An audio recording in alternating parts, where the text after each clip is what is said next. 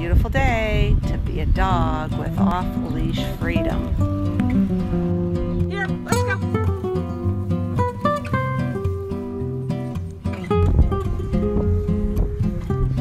Let's go!